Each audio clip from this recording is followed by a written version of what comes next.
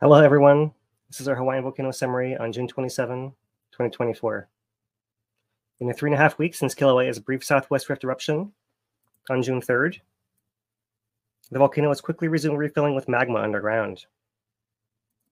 Satellite radar images and GPS data suggest roughly 4 inches or 10 centimeters of uplift centered over the South Caldera and Upper Southwest Rift, roughly less than a mile southwest of Halemaumau. Nearby ground tilt has been consistently increasing since the eruption.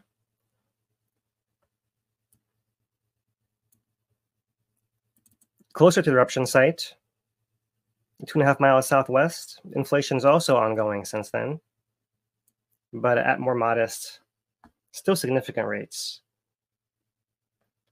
Gas emissions have reduced to background rates at both the summit and the eruption site in the Southwest Rift, but they still account for sulfur dioxide rates of roughly less than 200 tons per day, which could still affect sensitive individuals in nearby areas.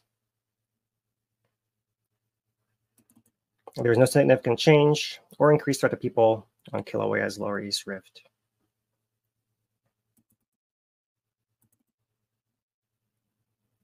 Daily earthquake rates also resumed fairly quickly to a state of moderately elevated unrest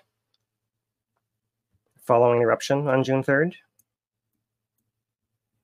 And consistent with a previous pattern, are absent near the eruption site, but do include the Upper East Rift connector. This area in a nearby Koaʻe fault zone seem to activate in response to pressure at the summit, has been evident prior to Kilauea's most recent eruptions. This suggests the volcano is already building to another event, whether it be an intrusion, eruption, or ground motion to accommodate the still ongoing healthy supply of magma into the network of underground reservoirs. According to the USGS Hawaiian Volcano Observatory, increases in seismicity and or deformation could result in a new eruptive episode within or near the summit region. However, Changes in the character and location of unrest can occur quickly, as can a potential for eruption, but there are no signs of an imminent eruption at this time. Mauna Loa volcano remains relatively quiet, continuing to recharge in a normal pattern with relatively few earthquakes and sustained follow, uh, slow inflation following its 2022 eruption. Minor flank movement on Mauna Loa has been occasionally evident in response to events on Kilauea, but with no significant long-term effect.